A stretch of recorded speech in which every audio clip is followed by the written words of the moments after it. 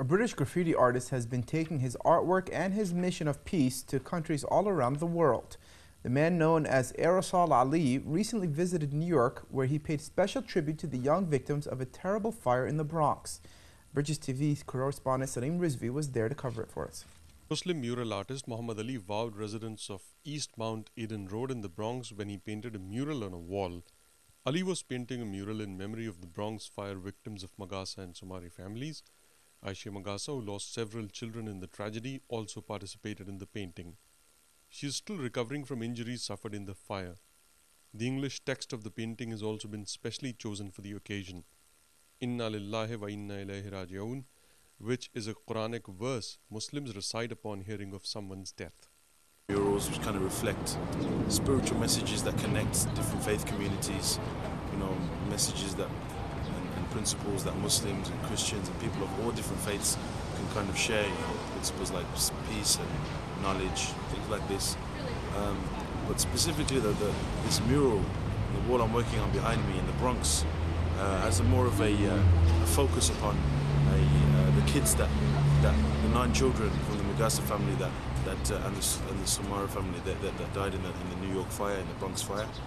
So this wall is still a very spiritual message, similar to what I, a lot of my other work is.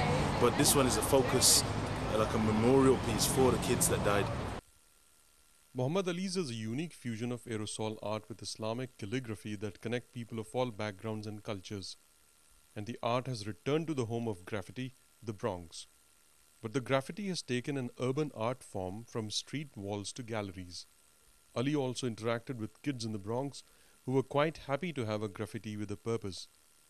The artist has teamed up with Arts Council England in this educational tour named Arts and Islam. Here in the Bronx.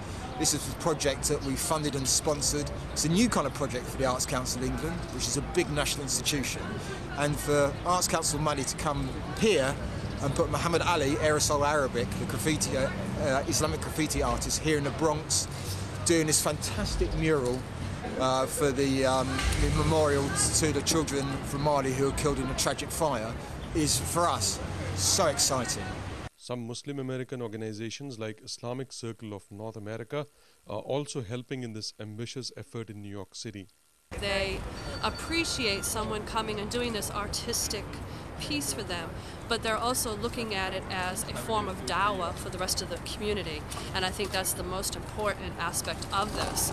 And also the diversity that's being represented here today, because we have Muslims from all over the world coming. I mean, it's amazing that this, this Muslim brother from you know, Bangladesh roots living in London, coming all the way to America to do a mural for an East African family living in New York. And myself, being an American Muslim, learned about um, Brother Muhammad Ali's art and his work and his trip to the U.S.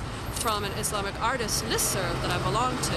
So when I saw that he was coming to the U.S., I, I had to see about getting him to come to New York. Muhammad Ali's US tour include mural paintings and lectures on Islamic art in various cities including Boston and Chicago. Ali has also showcased his work across the UK, Dubai, and Denmark. This is Salim Rizvi reporting for Bridges TV in New York City.